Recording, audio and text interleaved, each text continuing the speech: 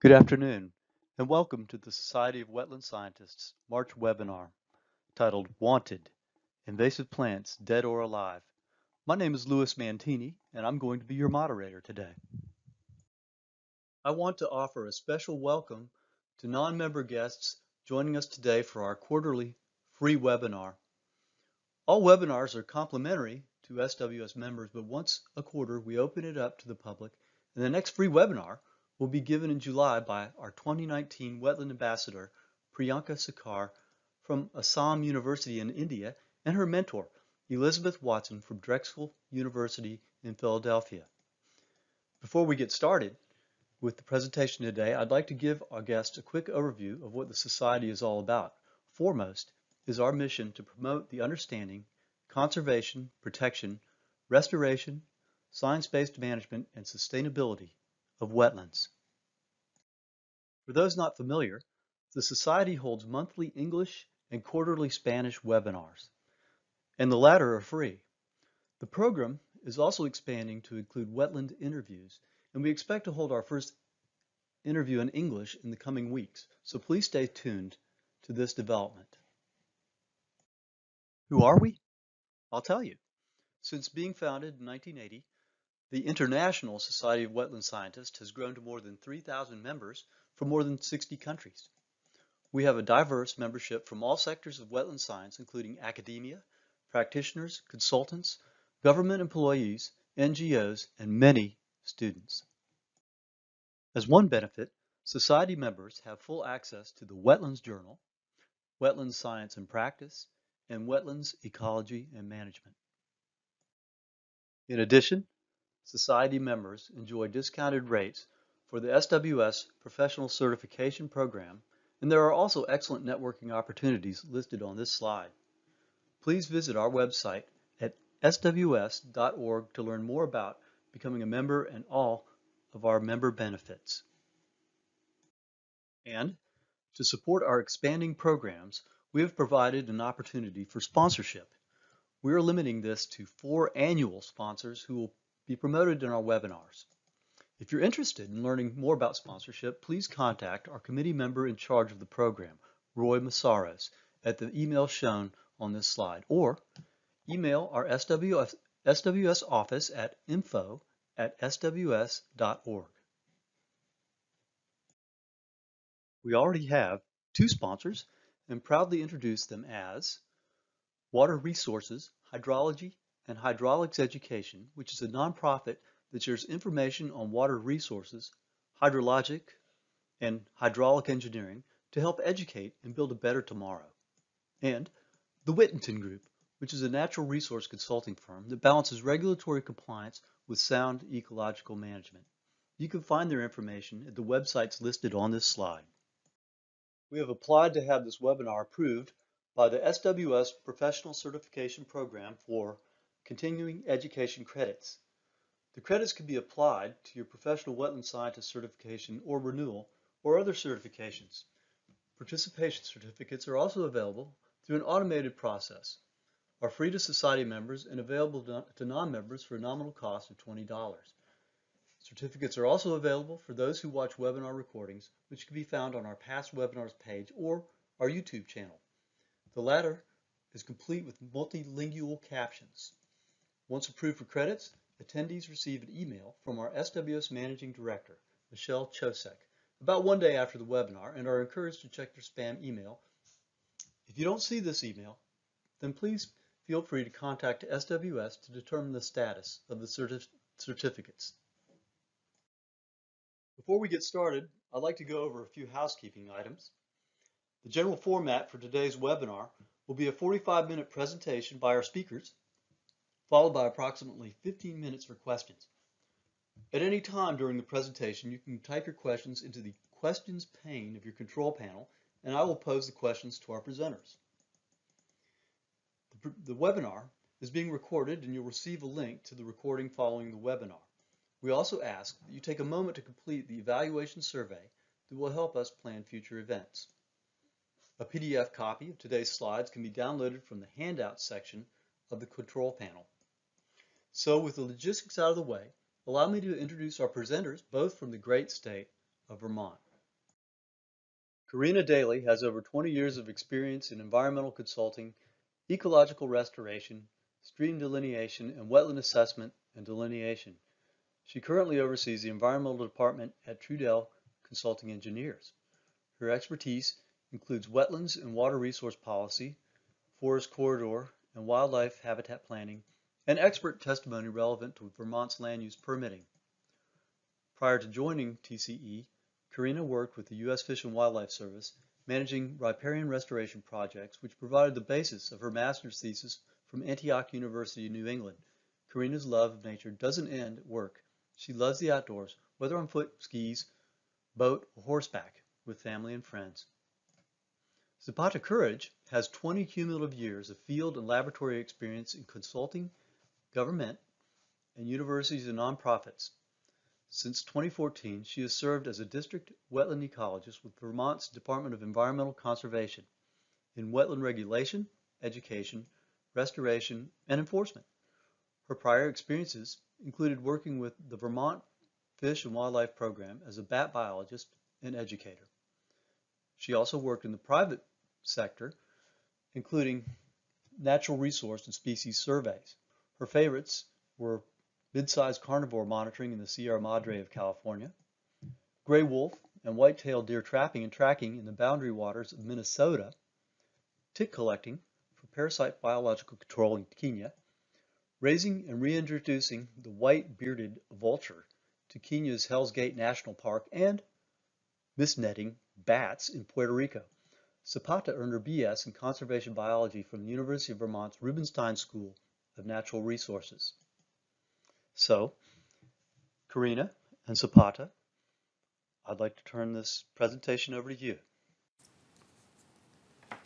Hello everybody, this is Karina speaking. First, we wanted to thank you for joining us. We are fortunate that a webinar is the only acceptable means of communicating during this difficult time, and our thoughts are with all communities today across the world. Second, we wanted to provide a background of how we work together. I work as a consulting wetland scientist and Zapata as a state wetland regulator. Welcome to our webinar, Wanted Invasive Plants, Dead or Alive.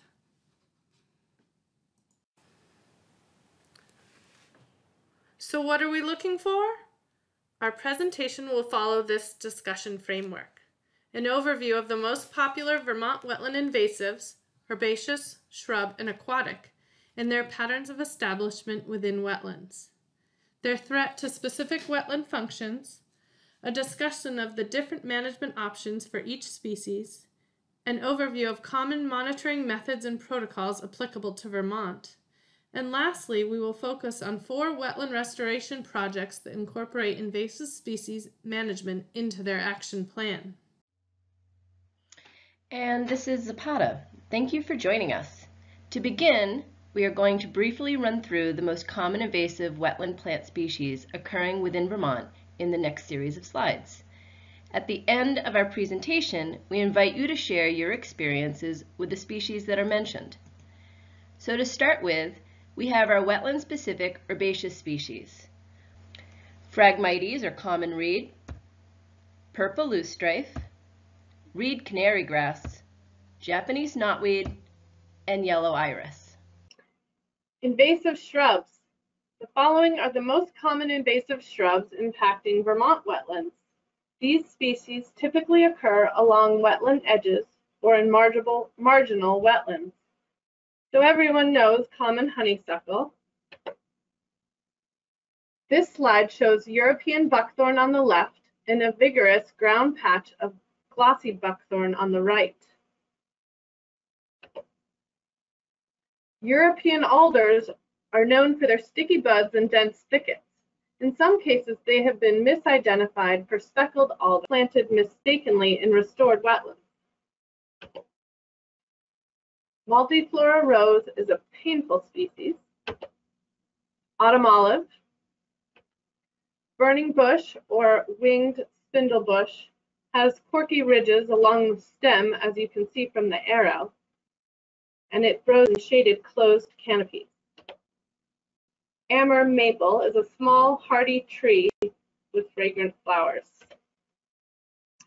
And then we have our aquatic invasive plants, which occur within our lakes and ponds, including within the wetlands found in the littoral zone of these water bodies.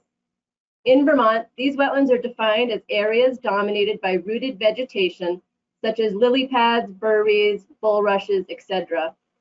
Eurasian milfoil on the left and water chestnut on the right are two plants that are often targeted for management because of their impact on recreational and aesthetic functions of the wetland being compromised. In Vermont, we have seen a pattern. Increased human disturbance results in the introduction of invasive plants, which once established increases the potential to spread locally and to be transported to a new location, whether by human activities or natural processes. In this slide, our monitoring data demonstrates the difference between forest interior and forest edge habitat within a suburban environment. The forest edge is the area of increased human disturbance in the form of human and livestock access and increased light, which favors invasive species establishment. In this case, we had an approximate 86% increase of invasive species present along the forest edge in comparison to the forest interior. So what are the methods of dispersal? Invasive species introduction and spread can occur both through human disturbance and movement as well as through natural processes. So human disturbance includes activities such as land clearing, you know, through forestry, conversion, mowing, brush hogging. And these activities result in soil disturbance and increased light, light and possible introduction of invasive species. You can also be introducing new soil to a site, the classic clean fill wanted sign. Uh, this can bring along a new seed source for an invasive species to the site.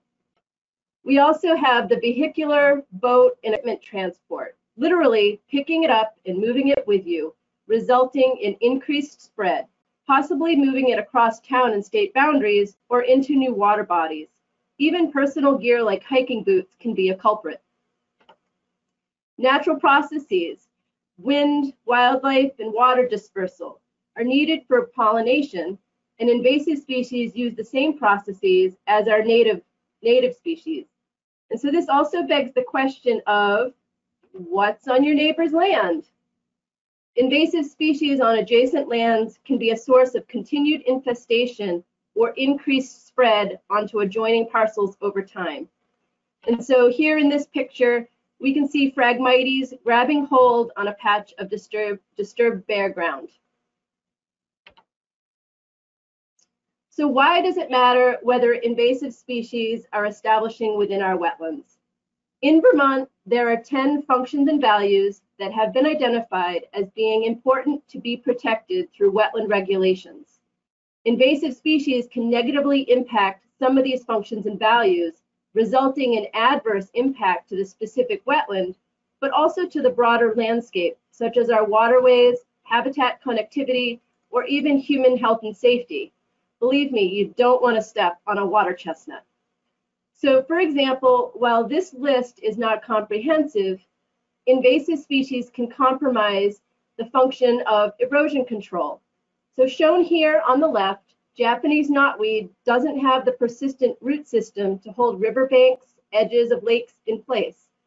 And the lack of erosion control can have direct impact on water quality, Water quality can be impacted by increased sedimentation or nutrient loads, and the invasive species may also cause indirect social or behavioral effects that could result in water quality impacts.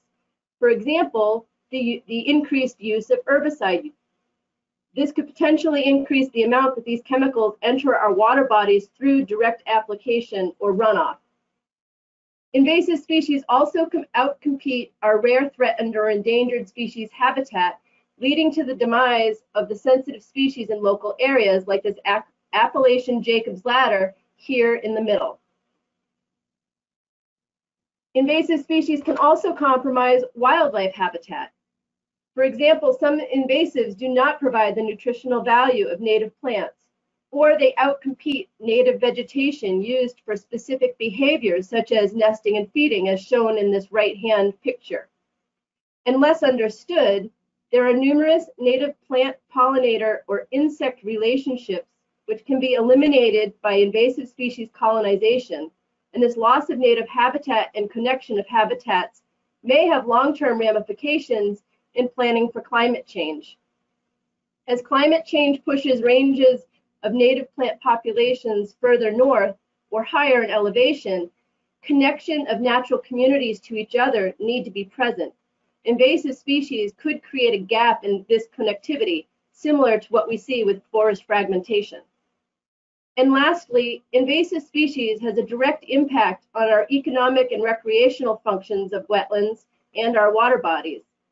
Per the EPA, damages by invasive species, plants and animals, is estimated at $138 billion per year. And this includes impacts to forests, fishing, boating, and other outdoor recreations. Monitoring is important Monitoring is necessary to gauge population presence and management actions, but methods can vary drastically by site, species, and established goals. Vermont could probably do a better job standardizing this practice and tracking the data collected. The diagram on the right demonstrates how monitoring is used to detect when management actions are achieving goals and objectives, and when ineffective actions need to be modified. For example, one action could be setting a threshold for invasive treatment. The goal could be to increase the percent native coverage or reduce invasive coverage or 100% eradicate the invasive population. Collecting and documenting baseline data prior to treatment is crucial to tracking change and meeting the established thresholds. A variety of sampling methods are out there and they can differ depending on cover type, but it is important to be consistent. We commonly use 1 meter quadrats in open herbaceous fields and 10 meter quadrats in the forest or line intersect sampling. Data collection should include stem counts and percent cover for each stratum, as well as photo documentation and GPS location. Timing is everything. Ideally, site visits should occur twice annually at a minimum. Ideally, the site visits should sync with the growing season and prescribed treatment patterns. Reporting is essential, as is establishing a hub to track the spread and store the data. In Vermont, our clearinghouse is vermontinvasives.org. The next few slides will review the variety of ways in which invasive species are managed. Your choice of management methods may be influenced by overall wetland enhancement or more specific goals, personal safety in the case of poison parsnip, to increase wild diversity, or to address the unique needs of species that are rare, threatened, or endangered, or to improve water quality. But before we jump into management methods, we should first try to avoid encouraging invasives in the first place. Therefore, prevention and education are most important to raising awareness. Do we need to log this area? Do we need to bring in soil from another location? Do we need to plant trees from an out-of-state nursery? Shake out your clothes. Are they covered in hitchhikers?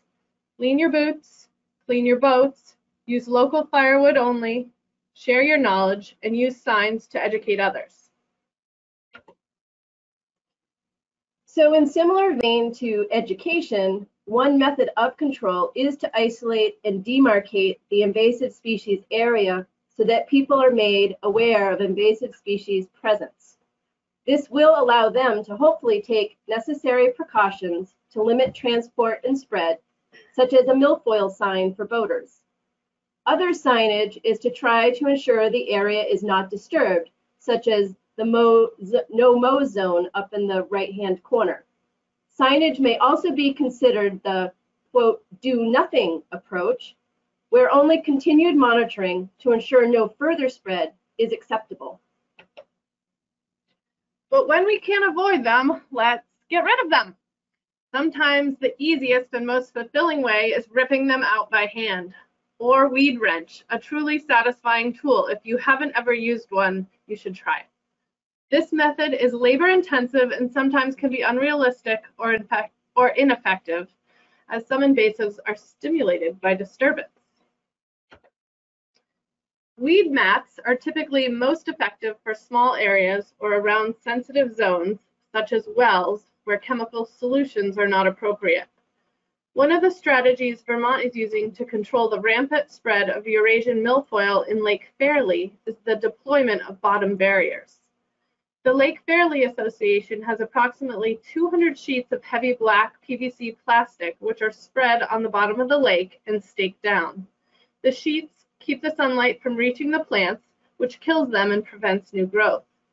Lake Fairlee's permit from the Vermont Department of Environmental Conservation allows them to place up to three acres of bottom barrier at a time. Mechanical control for open water on lakes and ponds can mean harvesting machines or diver assisted suction harvesting, also known as DASH. Terrestrial options can include mowing, plowing, weed whacking, chainsaw, tractor, or excavator removal. There are also, of course, chemical control options. Some chemicals have been deemed water safe and can be used within wetlands and water bodies, including Garlon 4, Rodeo, and within lakes, ProcellaCOR specifically targeting milfoil. There are different techniques of application depending on the species involved, the extent of infestation, location in the landscape, and costs associated with the control method. So these techniques can include spraying, as shown here, cut and drip method, injection, or foliar application known locally as the bloody glove technique. In Vermont, it is important to note that the chemical control must be done by a licensed applicator professional. There are also biological control methods that can be utilized under certain conditions basically letting nature battle nature by having insects, livestock, or fire eat up the invasive plants. Here we have goats for hire, and in this slide, they're targeting Phragmites. And I personally know of one community in Vermont that used goats to consume the native poison ivy population in the town, so it does work. Consumptions of invasive species can even include us. Yes, did you know that we can eat Japanese knotweed and this sign is right about its similarity to rhubarb in taste. You should give it a try. So here we have the classic agricultural field wetland dominated by reed canary grass. And as demonstrated by this cartoon, it doesn't provide for much in the way of diversity of plants and food resources in the wetland. This site was selected for wetland restoration where the goal was to restore the agricultural field back to a functional forested floodplain wetland. As part of invasive species control, and especially if there is a specific purpose for the area following treatment, you may want to incorporate an active planting plan following control of an invasive species to help provide for long-term management and or success of the revegetation process. So the photo shows the area after treatment. Based on the map, the dark green areas were planted with saplings. These saplings, once established, and especially as they grow and their crowns become bigger, will shade out the reed canary grass and allow for better long-term management. Without the treatment, it is not uncommon to have planted saplings get choked out by the grass, and consequently, you have a failure of the restoration goals. Some natural succession without plantings may also be appropriate if an area is smaller or if there is native seed stock nearby without an adjacent reinfestation source. In reality, the less the land is disturbed, the better. There are factors that should be taken into consideration in developing your invasivore cookbook or site-specific recipes. The next series of slides will walk through each of those factors in detail. So what is your goal? Well, obviously it's to remove the invasive species. But seriously, it is important to identify your goal to allow you for proper planning and its implementation. So in this photo, the wetland occurs on both sides, is dominated by Phragmites, and Phragmites covers acres. So is it realistic to think total eradication is possible at this location over that amount of wetland? Probably not. So you do have to ask questions. Is your goal total eradication or simply controlling the spread? Is your goal meant to address and restore a compromised wetland function such as wildlife habitat or recreation? Is your goal to protect an RTE species? And lastly, what is reasonable and practicable? And what is the level of long-term commitment by the landowner or organization that's conducting the work? The questions to ask will also include, the questions to ask is should also be covered over the next series of slides. Location is huge. Identifying where on the landscape you are, how the site will be accessed, its proximity to open water, and sources of reinfestation are important questions. The photo on the left is adjacent a large river and is characterized as open agricultural fields within historic and active floodplains. A major road bisects the project area while the right-hand photo is a remote, high-elevation pond outflow adjacent state forest land. Relative to location is the type of wetland you are working in. What is its past history of management? What are its hydrologic supports, soil characterization, and plant communities? How may have these been altered? The recipe for restoration is dictated by all of these parameters and will certainly vary from an open water marsh to a bog to a seep to a forested swamp. The photo on the left shows a potta in a cattail swamp. But before you get started on method, method selection, you also need to assess the extent of infestation and the species on site. What is the species, or are there multiple invasive species in a given area? how large of an area is impacted, and what is the density of the invasive species occurring there? Is it a monoculture, or is it more scattered throughout a site? How long has that species been present, and is it continuing to spread? Some species may be better controlled by one method over another. The purple loosestrife in this example on the left can and was controlled by hand pulling while the buckthorn required chemical control on the same site. In this second example, the density of the buckthorn within a restoration site was determined. Density is divided into low, moderate, or high categories. This categorization provides information on the likelihood of needing additional follow-up treatments. High density as shown by the dark brown and black striped areas on this map, implies a greater than 60% coverage of that invasive species. Typically, that means that this area will require two to three treatments in order to achieve a 90% kill rate success.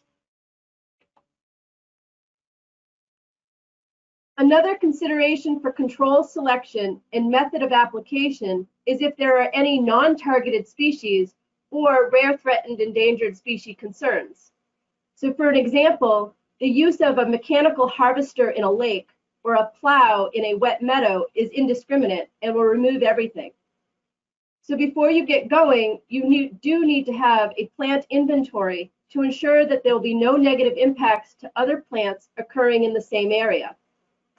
In this side, in this slide, excuse me, you can see on the right the extent of the wetland as shown by the turquoise area and the corresponding upland area within a solar development project. Within that project, a state-sensitive blue-eye grass was identified, shown roughly in the green square survey boxes.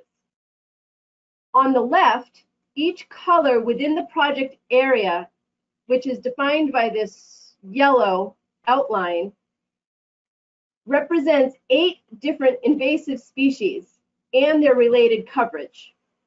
So in review of your site, you do need to consider to what extent will non-targeted species be impacted. And sometimes this results in a control choice, the use of a specific, specific product, or selecting a specific mode of application in order to limit impact to native vegetation. For example, you could consider establishing restrictions or buffers around certain sensitive areas, such as harvesting in a lake in waters that are only at a minimum depth, or identifying areas that are dominated by native vegetation and restricting access to those locations. Based on the answers to the site-specific questions, we determine a method or a combination thereof. To increase success of invasive species management, timing is critical. Timing is based on which method is used and the species targeted. This timeline example for Phragmites includes a variety of treatment methods that are dictated by the time within the growing season that they occur and the phenology of the plant. Treatments can take place just as plants begin to grow and are expending energy. This is a good time to knock them back as it requires that they start all over again. Treatment can also occur just before the plants are ready for seed viability and dispersal by hitting them when they have just expended a lot of energy into reproducing. Chemical treatment can be effective in the fall when plants begin to absorb both energy and the chemical into their root systems, thereby increasing its effectiveness to kill the plant. Timing is also about the weather forecast. When did it rain last and when is it forecasted to rain again?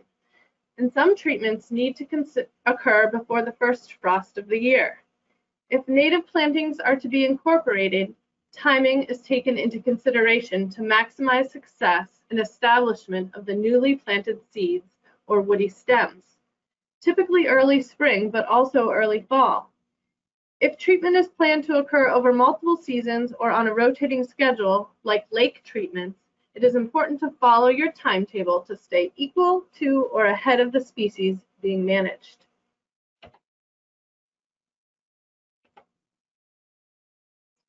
And then monitoring. A single treatment will rarely result in the eradication of the invasive from the site. As Karina mentioned earlier in the presentation, continued monitoring is a requirement until eradication is confirmed or management goals are attained if success, success is to occur. In your success, um, your monitoring will also help drive your response plan because you do have one, right? What are you going to do if weather doesn't cooperate or a natural disaster such as fire or flooding occurs? What happens if a new invasive species arrives on your site or your native plantings fail to establish? You have equipment malfunction or your contractor is unavailable, or worse, your budget for management is cut.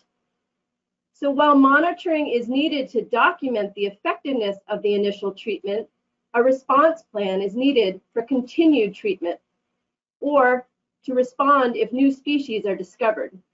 So remember, early detection can result, can result in success with quick response. Often, adaptive strategies may be required, so plan for flexibility within a treatment plan or response, and revisit your management goals and reevaluate if they are realistic. Part of every alternative analysis plan is the quote, do nothing option, although that may not be the right decision in the long run. So to demonstrate why monitoring in a response plan is needed, I'm going to walk you through an example where the do nothing approach was devastating. In 2014, a pre-constructed pre-construction plant inventory was conducted, and at that time, only one 600 square foot patch of Phragmites was identified within the wetland buffer zone of the project area. And while the project had a permit and it was required to treat the Phragmites, they did not treat it. And in 2015, following construction, we saw not only the spread of Phragmites, but we saw four additional new species, each at that time only a single stem identified, including glossy buckthorn. We'll come back to that one.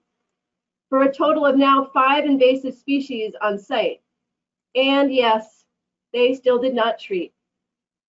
In 2016, we went from four species or five species on site to eight species of invasives on site with extensive spread of some.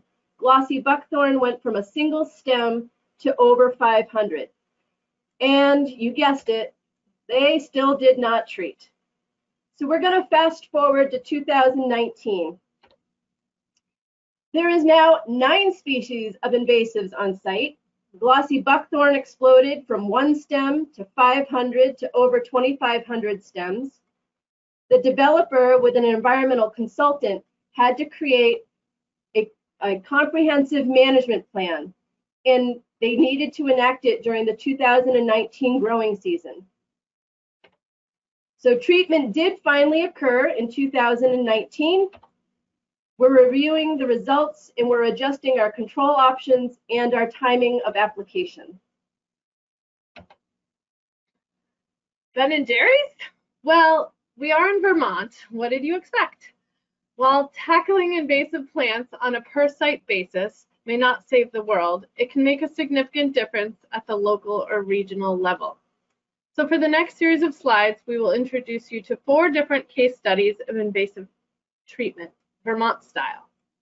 We will be focusing on what each case study is evaluating, what the on-site factors might include for consideration, and provide information on what control methods were selected and how the application of those takes place. So sit back with your pint of Ben & Jerry's or your Vermont craft beer and enjoy the green space. This case study focuses on a Natural Resource Conservation Service wetland restoration site that manages invasives under the federal WRE program throughout the state of Vermont. In this case, the goal is to restore a dynamic riparian wetland complex that has been in agricultural use for over 100 years and as such has been manipulated by a series of hydrologic modifications, including ditching. Typically, this program includes invasive monitoring to identify invasive species present, size and shape of infestations, other natural features, including rare, threatened, and endangered presence. This info is used to create a plan for their management, either prior to restoration efforts commencing or after initial work is completed. On this site, chemical treatment of reed canary grass may occur as a first step in restoration work to increase survivorship of native trees and shrubs to be planted following treatment.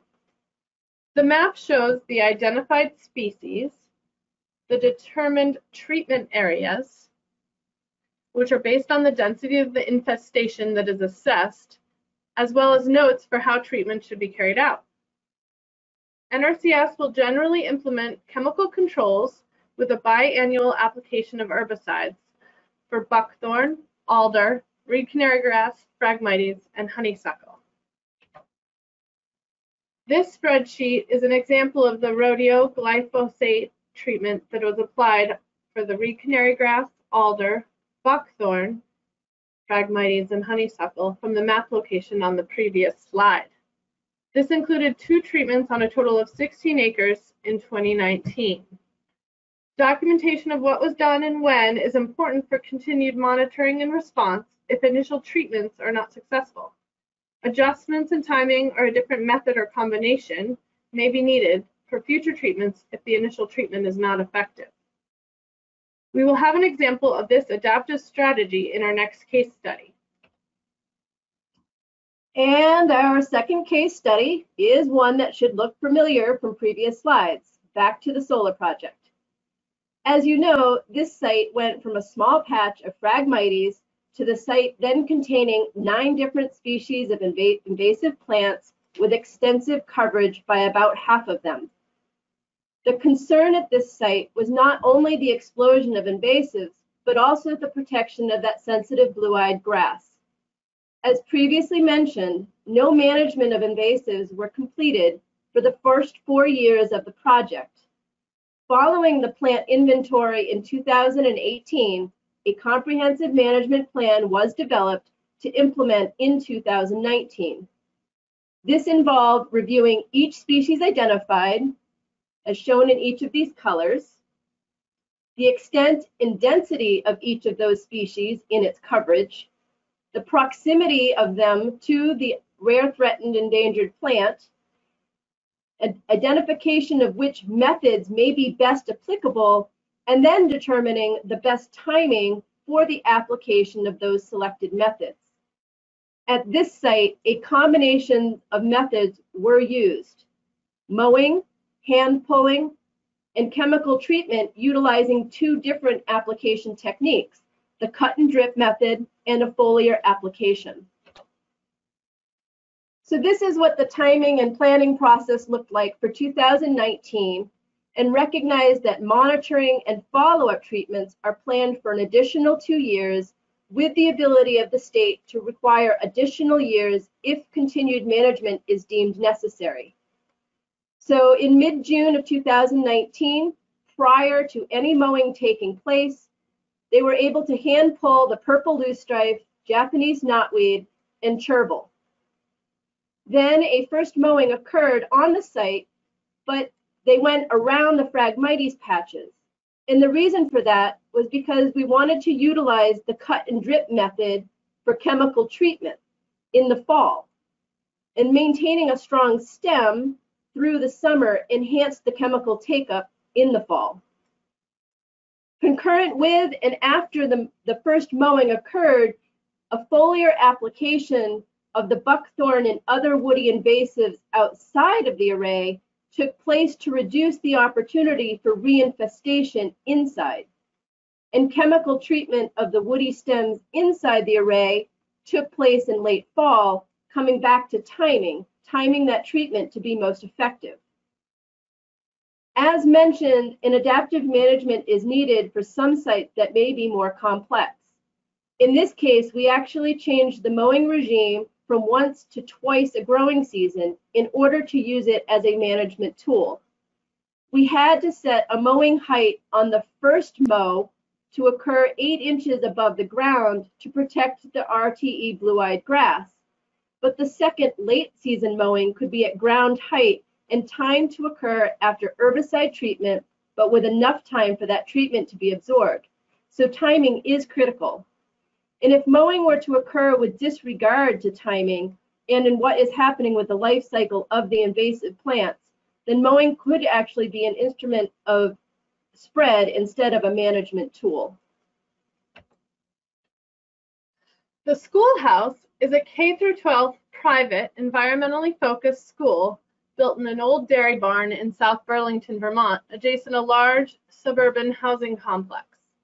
The wet meadow hay fields have been out of ag production since the schoolhouse took over the land, and as a result, the natural wetlands are regenerating.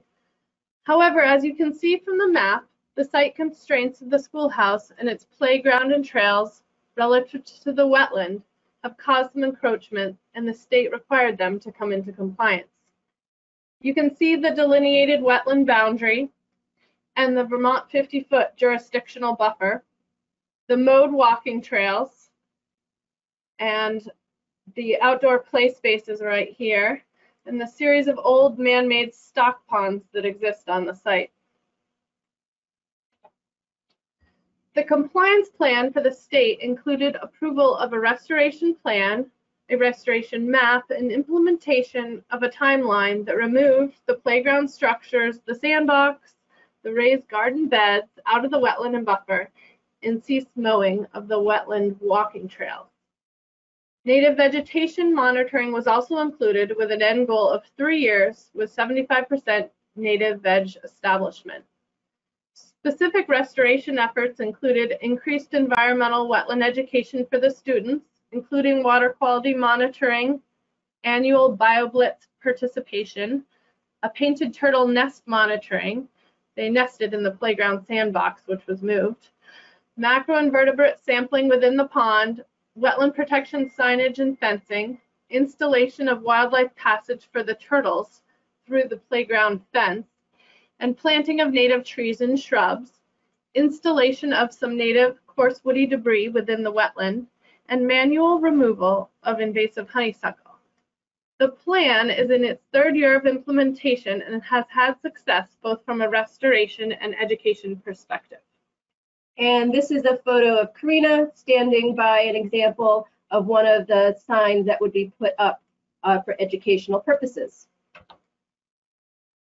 So our fourth and last case study focuses on removal and prevention of a Eurasian milfoil within Lake Hortonia a 480 acre lake located in Sudbury, Vermont.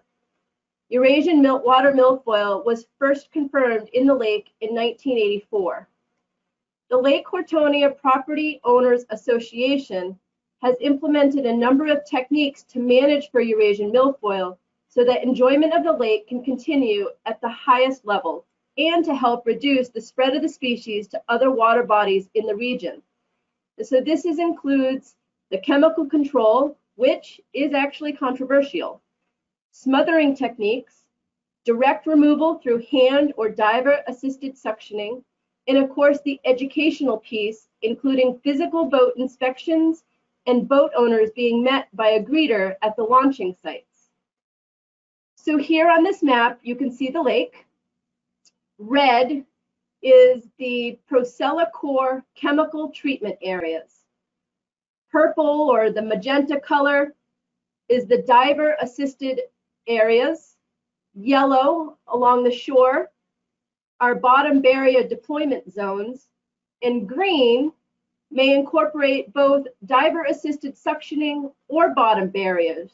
And the choice will be determined just prior to deployment based on the density of milfoil that season.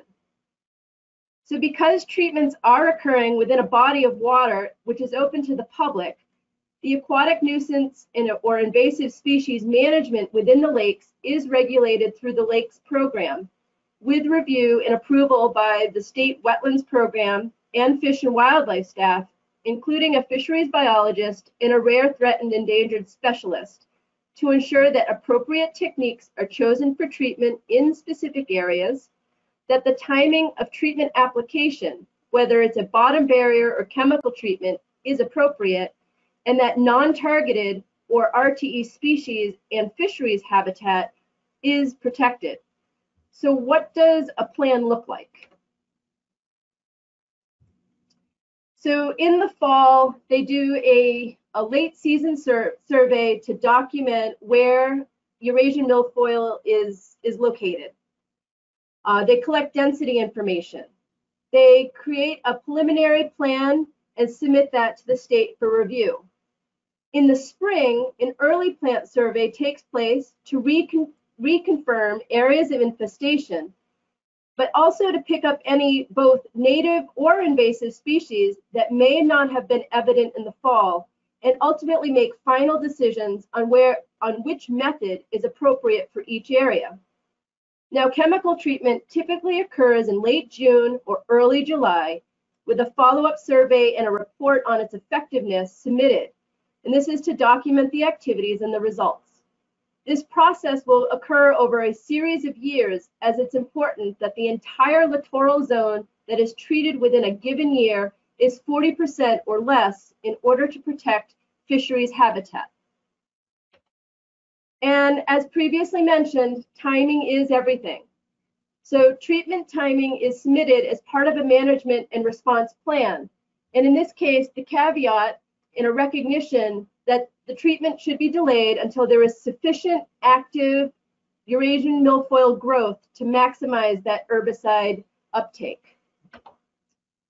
And then just to remember, chemical control is not always the answer, nor should your option of treatment be limited to such.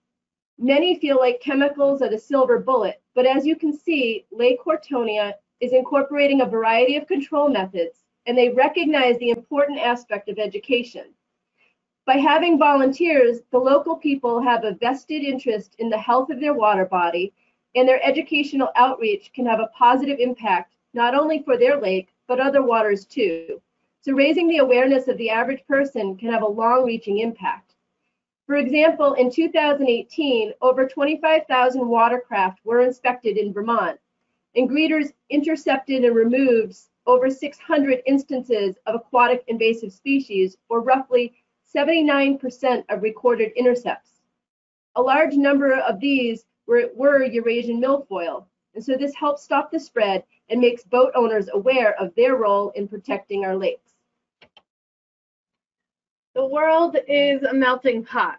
What can we do? We certainly can be more careful and observant, be aware of what invasives might be present in a given area, especially if we plan to be working there. Take precautions such as washing off your vehicles, boats, and other equipment before moving it from one place to another, including your wetland boots. Adhere to signage to stop the spread. Educate others. We can spread the word with small facts. For example, buckthorn berries do not provide the nutritional value to birds and wildlife that they need. Become a lake greeter and help people remember the importance of washing off their boat. You can even join an invasive species pull. Monitor and manage. Depending on the reason for becoming aware of an invasive species, the level of monitoring and management may change. Recognizing an invasive species in an early stage of infestation can mean the difference in successfully eradicating it. Native seed collection. You can collect native seeds and increase your dispersal by deliberate movement, especially if there are barriers to natural movement. Native plantings. As regulators and consultants, we can ensure the restoration plans include planting plans that incorporate only native species. Natural regeneration and naturalized places. The less chance of disturbance, the less chance of invasive species introduction. If it isn't broken, don't fix it. The best we can do is stay out of an area if possible and allow nature to do what it does best. If working within the regulatory system, review your permits and see if they can incorporate relevant conditions that encourage management and monitoring of invasive species. We need to be thinking about what specific actions we can take to be poised for the future. So at this time, we are finishing our presentation and we would like to thank you for listening to us. I hope we haven't invaded your internet space too much. We want to invite you to ask questions and discuss your experiences with the species mentioned today. What are your successes and failures? Because we really can learn from both.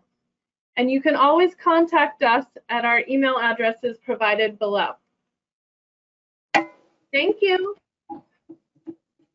Someone asked, do goats eat the eat weeds over water? Oh, I don't know the answer to that question, but it's certainly a good one if we could find something to eat that milfoil. Any ideas? Well, I, I do have actually. I have goats, and they hate wet feet. In fact, they get hoof rot very easily. Maybe a, a water buffalo might work better, but I just uh, just thought, you know, perhaps they'll, you know, they will actually yeah, they will actually um, venture close to, you know, if there's something they can reach out there and stretch their neck and get, that they can't get otherwise, or you know, without having to work for it, then then they'll do it. Um, what is the bloody glove method? It is literally putting the chemical on the glove that the professional is wearing so that they directly wipe it onto the leaves of the targeted plant. It limits the dispersal of that chemical over a larger area. So it's really meant to be targeted application. And the chemical is often red yeah. color, hence bloody glove. well, hey, it certainly uh, reduces, reduces the risk for overspray, right? Exactly. And for oh, some areas where there might be water features or rare, threatened, or endangered plants that have to be protected, that targeted application may be more applicable.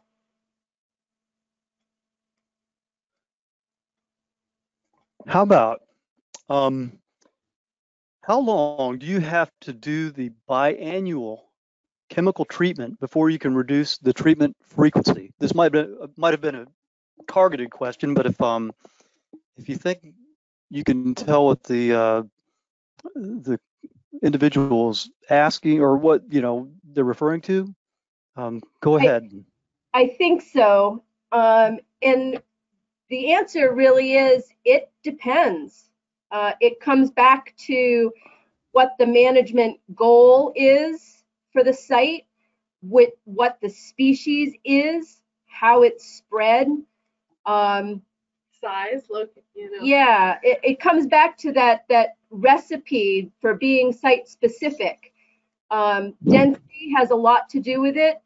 In that NR, NRCS slide, uh, they will typically plan on if they have a dense patch that they will do no less than two and often three applications. Uh, that's where your monitoring and then your response plan comes into play. Okay. Here's an interesting uh, question uh, regarding Phragmites and its uh, capability to to store carbon. And um, I'll kind of paraphrase this, the question, but is there a benefit to maybe keeping a an invasive intact? Uh, maybe not letting it, you know, get out. Maybe maybe keeping it at a, at a certain level of control so they can function similarly uh, to, you know, have any particularly beneficial function. Good question. Or- Um, Is that a bad idea? Well, I think it's it's it, it again it depends what you're comparing it to. So yes, Phragmites can store carbon, but so can a native forest. And and the diversity in structure and composition of a native forest versus a Phragmites swamp is really different. So the monoculture of Phragmites is much more limiting for many functions than the the native forest. So, so yes, it's doing, it's creating one function, but we could provide a lot more.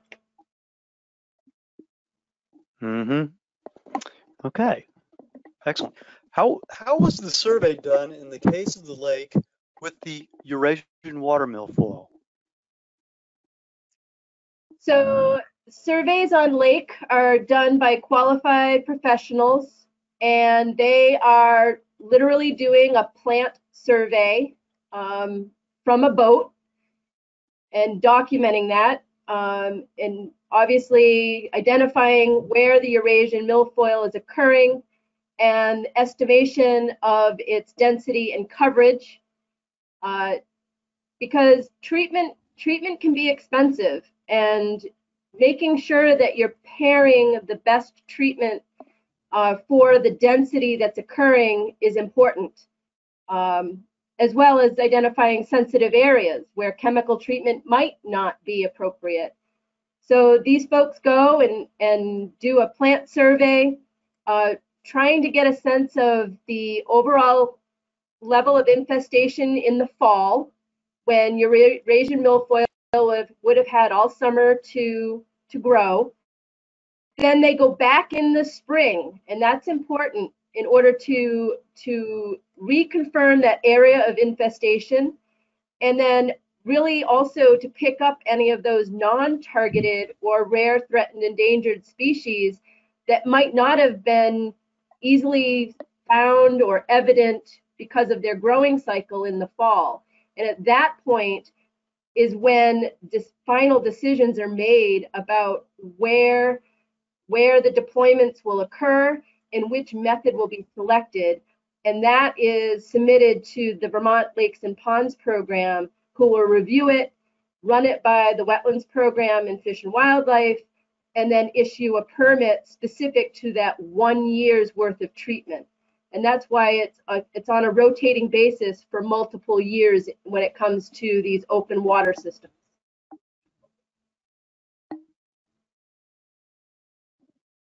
All right. Uh, here's a good one. Where can you get beetles that consume invasive species? We used to have some beetles here in Vermont. Um, I'm not going to say they fell out of style, but I honestly don't know now where you can get them or get them regionally. Uh, honestly, I would look online, kind of like goats for hire.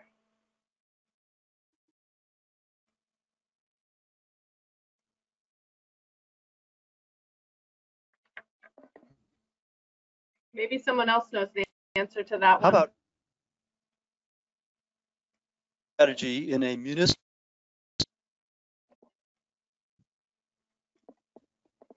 um, all right. Another question was, uh, a good strategy plan to control not in a municipal key and fairway reconstruction product project? Louis, can you repeat that again? You're cutting out again. If that um is a good to control in a municipal T and fair project. We think we heard the question. We're going to repeat it. What is a good strategy to treat Japanese knotweed for a municipal project? A fairway area? Um, and that really, again, that, that depends about all of the other site-specific considerations. Uh, how did that material get there? Uh, what, where is it, you know, topographically? Um, what options might be most uh, appropriate? You know, where uh, is it close to uh, houses? Is it close to people's wells? Um, is it an area that you could employ something like a bottom barrier and smother it because nobody's going to be on that area? That's where that site specificity and asking those questions really comes into play to help narrow down what might be the best option. And and to add to that, I would say that it has seen a lot of success with knotweed as long as there isn't an, an adjacent seed source nearby.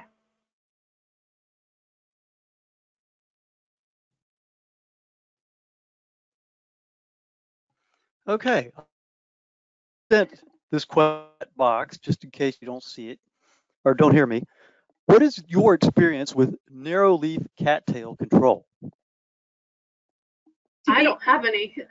yeah, to be honest, we, I have not yet seen a management control plan submitted for management of that species, primarily because I think there are a lot of challenges to identifying it correctly. Um, we have hybridization occur between narrowleaf and broadleaf. Uh, there's a lot of question as to whether uh, narrow leaf fundamentally changes the system um, because a cattail might be a cattail if it's being used by species for nesting, for example. Um, so we have no actual experience with narrow leaf cattail at all. Okay. Have another for you. Um, and I'm going to go ahead and, and post it on the little chat box. Um, how should one apply foliar application with efficiency while trying to prevent the plant to go from seeding by mowing in the same season?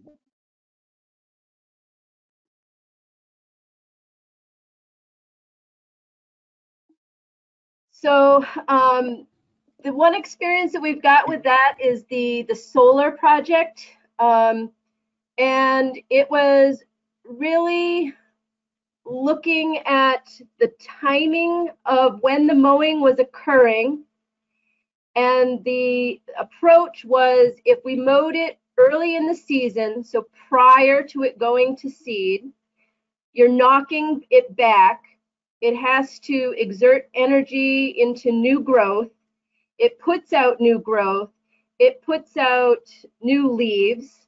Uh, in this case, like, so glossy buckthorn, for example, um, it puts out its new growth, new leaves.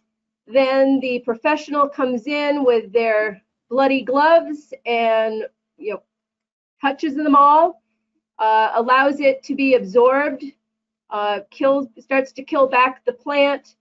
And then in the second mowing, we're mowing it right down to the ground. Um, hopefully, with enough time to have allowed the chemical to fully penetrate the plant. And so knocking it back again uh, with the chemical and then knocking it back one more time with the second mowing so that if any of it wants to try and come back the next spring, it has a big uh, hurdle to overcome to get started again and try to get reestablished. Uh, and the expectation is that we are going to be doing this for two or three or maybe even more years until that cycle of reproduction by the plant is interrupted so much that it cannot no longer survive.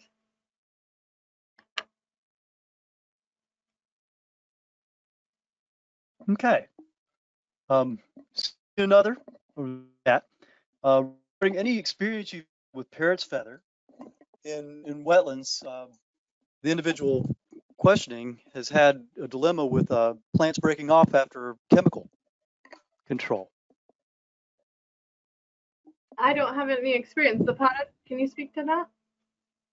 So I don't have any direct experience with the parrot feather, um, but uh, Eurasian milfoil is capable of spread in the same way, where you can have a piece that breaks off and can uh, reestablish elsewhere.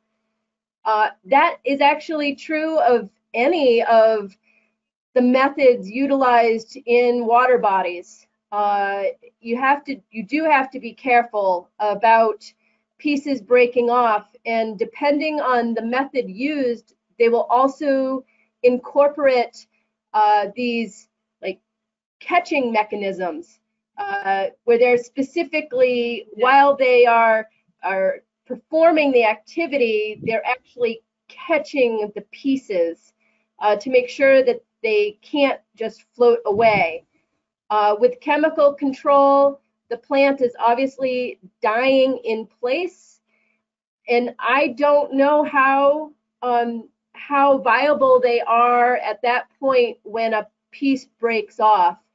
Um, we have not we have not gotten reports back on that necessarily um, as a byproduct, but uh, for Eurasian milfoil, but I don't know how that applies to the the parrot uh, the parrot feather. And then, That's fair. yeah, to follow Okay. Uh, out to follow up about the the milfoil treatment, uh, a question that came in was, you know, how much or much of the Lake Hortonia was not treated, and the question was that was because of depth. And yes and yes and no. Uh, depth plays a big part of it because the Eurasian milfoil will not establish past a certain depth and will remain open. Um, so that's that's the big the big aspect. Uh, and then if as as waters get deeper, your control methods become more and more limited, uh, just because they may not be able to be effective um, in deeper waters.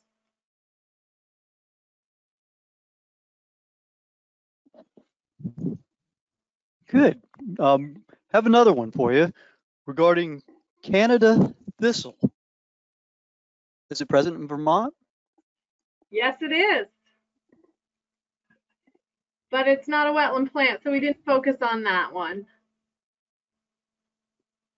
Okay, all right.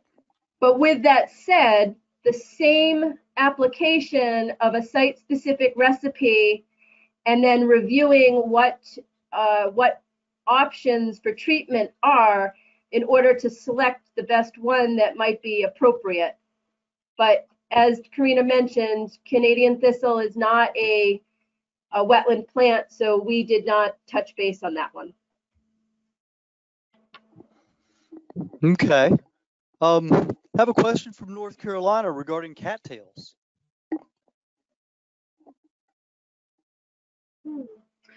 Uh, I think it's similar. So cattails aren't getting that type of concern yet in Vermont. Um, we're still seeing um, that cattails provide substantial significant habitat. Um, the narrowleaf cattail that we spoke to earlier, um, we have we don't have experience controlling that um, because the identification of it is still challenging. Pada, can you elaborate on that? So the question that came in is that um, that down south, uh, there's the concern that cattails can can dominate a system, and that in some of the southern states they may actually treat for it. We don't experience that in Vermont. Uh, cattails in general are con considered a native species.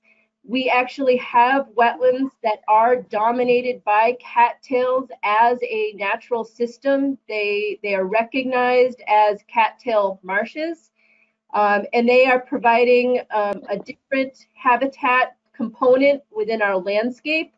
Uh, and such as such, we we actually protect those areas. Um, I think you know across the U.S. and and the difference between north and south, what may not be a nuisance species or an invasive species in Vermont could be considered one in other states, uh, and you would just simply be using sort of that same site-specific recipe um, to to determine how you best want to manage for it. Okay. So Karina Zapata, um, I think you're just starting to get on a roll, but um, we're going to have to um, move forward. And I want to thank you so much for taking the time out of your busy schedule to share your expertise. And um, before we sign off, I have a couple of announcements on upcoming Society of Wetland Society events.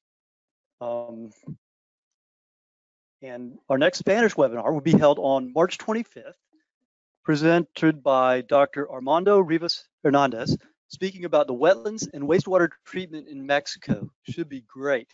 As a reminder, all Spanish webinars are offered free of charge to members and non-members. Our next English webinar will be held on April 16th by Jeremy Hsu on the subject of convergence of wetland, tech, wetland science and technology. And finally, please be sure to subscribe to our to subscribe or follow our society's social media channels like Facebook and LinkedIn to keep informed and to support the society. We also have a YouTube channel where all webinars are posted three months after their original broadcast with multilingual subtitles. If you are Spanish speaking, be certain to subscribe to the Latin American and Caribbean region's Facebook page at the link listed here. And thanks again, Karina Zapata, and thank you to our audience for participating today and your patience as well. Have a wonderful and safe day. Thank you. Thank you, Louis. Thank you.